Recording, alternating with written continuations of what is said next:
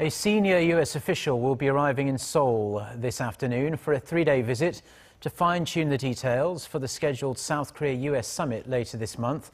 Under Secretary of State for Political Affairs Thomas Shannon is set to meet with Vice Foreign Minister Im Sung-nam on Wednesday to exchange ideas on further developing their alliance and North Korea's nuclear issues.